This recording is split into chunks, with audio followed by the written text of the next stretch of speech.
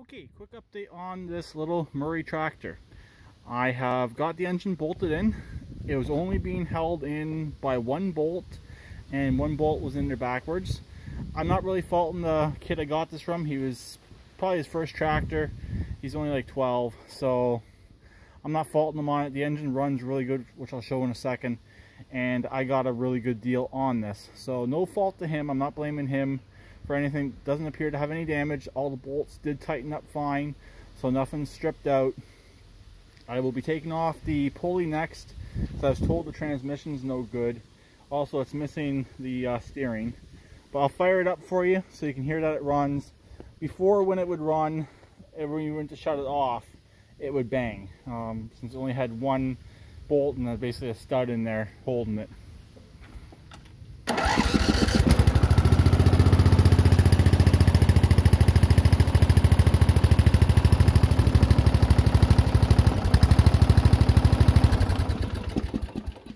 No noise when it shuts off. That is a brand new starter as well. So next thing I'm going to do on this is uh, pressure wash. I'm not doing it today. I'm done for today. And I will be uh, posting this up for sale. So this video will probably come out after it's sold, like always. Also, I'll probably replace this cover right here. There's a little bit of red paint there. I should have another one in the shed. Um, or I'll take some uh, carb, carb cleaner and try and wipe that off just make it look a little bit better. So it's a 14.5, which if I was to buy this engine from a lawnmower shop, they'd want a, between 250 and 300 dollars for it. So I'm probably going to try and get right around 200 to 300 dollars for this engine. I will be leaving it in this chassis so prospective buyers can see it running. And what I normally do is I'll show them that it does run.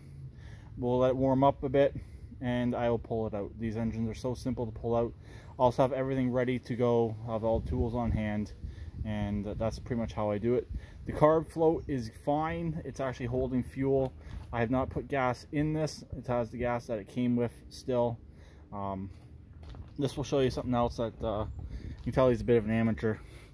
He put uh, electrical tape on the fuel line. Also, I've only seen this once before on another channel where he where a guy got an engine and someone clearly did not know what they were doing. He started loosening up the sump bolts right here and here. So I don't know if he was trying to figure out how to take the engine out or what he was doing, but uh, these two sump bolts here were starting to get loose. This bolt here is original and uh, the other three are ones I've added. Uh, it had this in there, just down from like that, holding the engine in, or not even holding the engine in.